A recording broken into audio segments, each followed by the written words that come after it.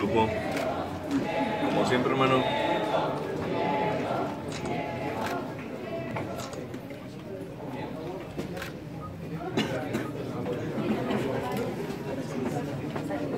históricas que han transformado la vida de nuestro Estado, pero también la vida de este país.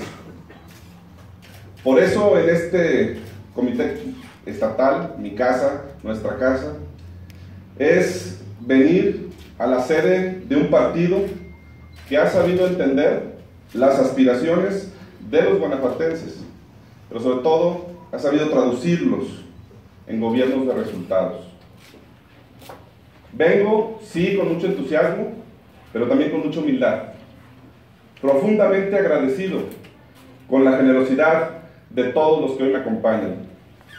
Saludo a todos los panistas nuevamente del norte, del noreste, del sur del estado, del norte del estado, de los pueblos del Rincón, a los panistas del corredor industrial. Créanme que ustedes hacen que Acción Nacional sea una gran familia.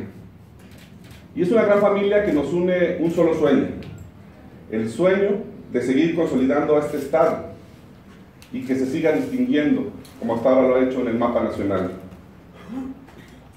Gracias a todos porque su presencia me compromete, me alienta, me anima, pero sobre todo me da esperanza.